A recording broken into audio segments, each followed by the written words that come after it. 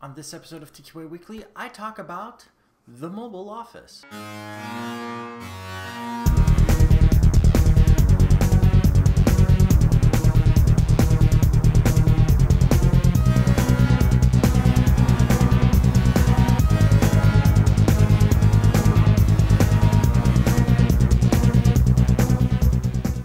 My name is Steve Smith. This is TQA Weekly, and if ever you have any questions, comments, suggestions, and or PC horror stories, you can always email me at ask at tqaweekly.com. Go to my website, tqaweekly.com, and use the contact form or comment to the specific episode itself.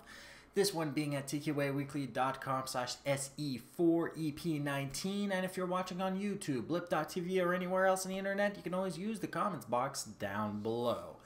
This episode of TQA Weekly is brought to you by ProXPN. ProXPN is a virtual private network that allows you to use the internet the way it should be, anonymously and without oversight. For 20% off your new account, go to proxpn.com slash podcasts and use the coupon code TQAWEE that helps out the show a lot. So today's question is, what kind of office do you use? It sounds like a ridiculous question to ask to many people, and we presume that offices have to be static. We presume that you have a chair and a desk, and that your computer and your phone and everything are connected to the wall. They're static, and you can't do anything about it. You have to 9 to 5 your day in the same address at the same place, and you can always be found there. Well, the problem is that's not going to cut it anymore. And a lot of bosses are going to start seeing a lot of their employees more mobile. They already play with their cell phones and their tablets. It's a natural evolution, and we are going to move from the static office to the mobile office. Not that the static office has anything wrong with it, but people like the personal touch, and in a world of modernization, the personal touch is disappearing quite fast. So, today I'm going to be talking about how you can transition from this static office ideal into the mobile office ideal by explaining how much of our equipment today has either evolved or has been made in such a way that it's accessible remotely. So, what does that mean for you? Let's start off with communications. Communication is important in business and it is fundamentally required between the employee and its boss and the clients. So, we have the cell phone.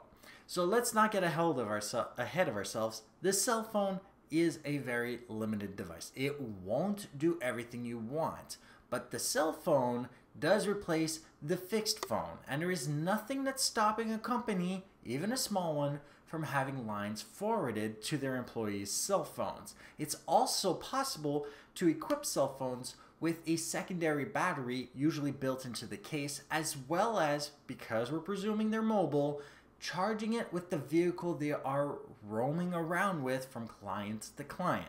So the battery life is not necessarily an issue for the mobile phone, it's the getting the phone call to that specific phone, which let's be frank, it's existed for last 20 or more years, the ability to forward your calls to another phone.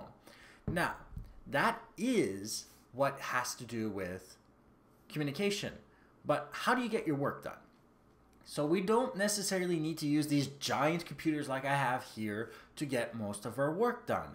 There are few ways of actually getting the horsepower of these machines without necessarily lugging them around. You can use a remote desktop. So you can basically log into your own work computer and actually use that. You can also refrain from logging in and have each of these individual devices have their own horsepower. Because quite frankly, we're pretty sure that most of these people that are going around that have to be mobile don't necessarily require the horsepower, just the tools themselves. We can use laptops, tablets, hybrids, obviously, netbooks, or even smaller there are devices that are actually specifically tailored to tasks. So if you're a salesperson going around for a soda company, you don't necessarily need anything bigger than a Palm Pilot with a laser barcode scanner on it to make the orders. But if you're a business person that needs to go and get a contract signed, you may have a briefcase with a laptop or a tablet or a hybrid and the papers you need to get signed anyway. And there's nothing stopping you from having a tactile screen and virtually getting the signature on the documents as well, eliminating the need for paper altogether. And you could email them a copy of the PDF as well. Now, there are a lot of people that are going to say, yeah, but the fax. Well, quite frankly, it's archaic, it's useless, but there are still businesses using it. My first thought when people say fax is email.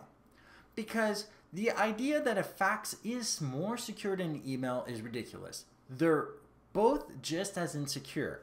But if you have a business that has to deal with fax, there are plenty of fax to mail services, and there is plenty of hardware that can even be server locked or computer locked that allows for faxes to come in digitally. So you can have these faxes drop into your Dropbox if you have them saved there. You can have the server actually receive the faxes and send you a notification that you have a fax in the first place. So having the faxes from your clients is not impossible. You can also go in the other direction. You can email to fax and your clients that require the fax can actually get the message as a fax, whereas you don't necessarily need to have the old school fax machine with all the paper jams and the running out of ink and everything. That is why it died in the first place.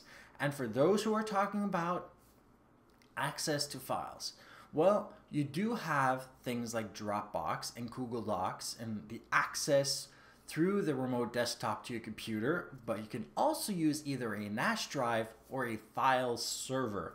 This obviously depends on the size of your company, but if you use a NAS drive for the small to medium businesses, you can actually log into your own network and have access to all your latest documents all the time. If all the computers connect to the NAS drive for those documents, then that document will be the latest document. The same applies to a file server for bigger businesses. If you can flip the bill, you can have a file server integrated into your business. And the really neat thing about that is most servers offer redundancy on data, which protects the data from ever being lost. Now, besides that, mobility.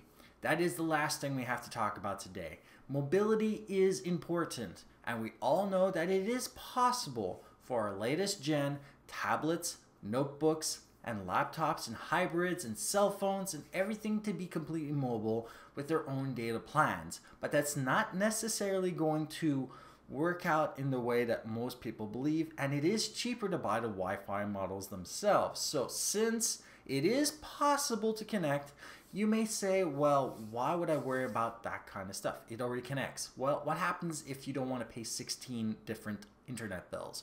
Well, let's say you have a laptop, a tablet, a mobile phone, and you need to get to your documents in your business area. You may decide to use a device like this, a Wi-Fi hotspot. It is a portable device which I've been playing with for a week and it works great. It allows you access to everything that you normally have access to when you're in the office with your laptop or your notebook or your tablets. You can even connect the mobile phone over this.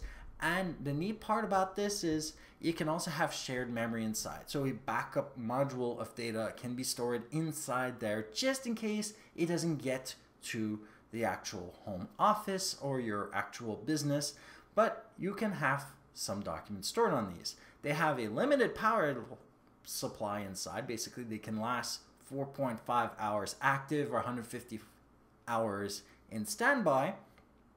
But they do charge by USB, which means if you're using a laptop or a tablet, you can connect it to the USB port and it will not actually die on you because you'll have it charging off your laptop or tablet.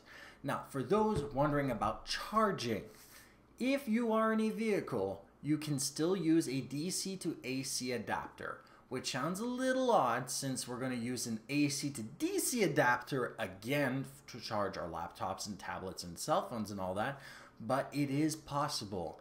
If you were to charge the laptop or the tablet, which is charging your cell phone and this device simultaneously, then longevity of your device is a null point. You can basically charge all your devices, have access wirelessly, and get from client to client.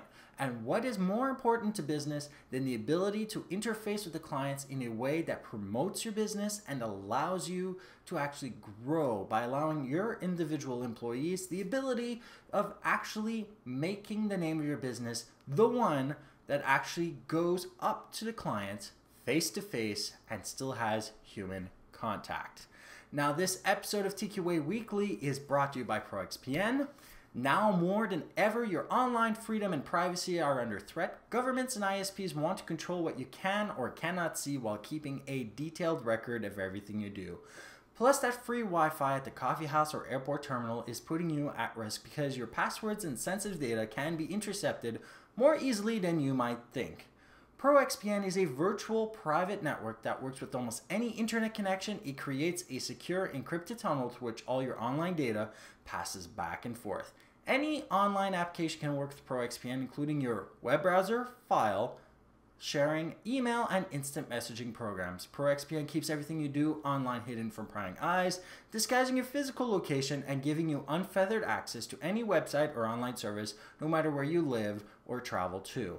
Offers online privacy with a complete 2048-bit encryption key and 512-bit encryption tunnel, works with OpenVPN or PPTP, protects yourself against your ISP's six strikes rule, internet filtering, blocked websites, geographical restrictions for internet content, and online video with worldwide servers in US, UK, Asia, and more. ProXPN's software for Windows and Mac offers advanced controls allowing you to select the programs or ports you want to anonymously route through ProXPN's servers. They also work with iOS or Android devices, allowing you to use your data plan or public corporate Wi-Fi with complete and total privacy on the go. No app required, but you can get an app for the iOS or Android environments, and they have 24/7 customer support. So whenever you need help, you can just call them up email them, contact them any way you want, and they will help you out and get this stuff working. And I've never had to do that. It is very easy to install, turn on, and use. Go to proxpn.com slash podcast for more information and to sign up. Now, TQA weekly watchers and listeners also get a free 30 day risk free trial. And if you don't like it and you actually cancel within the first seven days, they will give you a full refund. All you need to do is to visit proxpn.com slash podcast and use the coupon code TQAWEE. ProXPN premium accounts are normally $9.95 a month or $74.95 for the entire year.